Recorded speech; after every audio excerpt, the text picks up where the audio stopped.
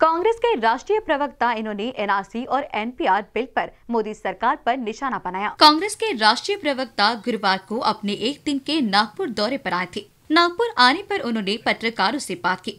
पत्रकार परिषद में उन्होंने एनआरसी और एनपीआर बिल पर मोदी सरकार पर निशाना लगाया है। उन्होंने कहा कि बिल पारित करने के लिए सदन में चर्चा करनी चाहिए, मगर ऐसा नहीं हुआ और इसका परिणाम आसाम में दिखाई दिया आसाम में ही 19 लाख लोगों पर इस बिल का असर हो रहा है। इससे भारत में क्या परिस्थिति रहेगी, इसका अनुमान नहीं लगा सकते हैं।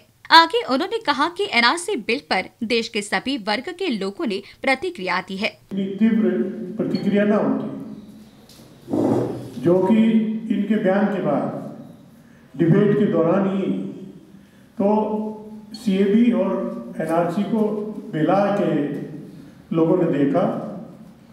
और जब एनआरसी की बात कही तो एनआरसी का देखा कि आसाम में क्या हाल हुआ।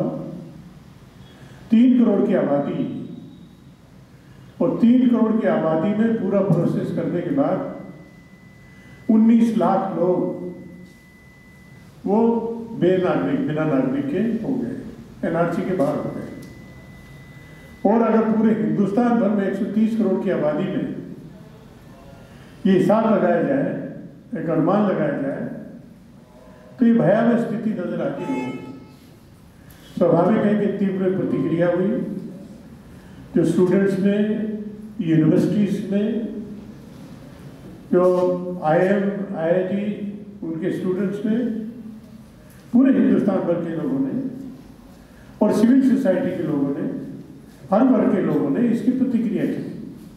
और उन्हें लगा ये जो सीएबी के माध्यम से कह रहे हैं कि जो विदेश से तो आएँगे, उनमें से किसको देंगे सिटीजनशिप किसको नहीं देंगे, उतने तक सीमित नहीं है। बल्कि देश का हर व्यक्ति उससे प्रभावित होगा।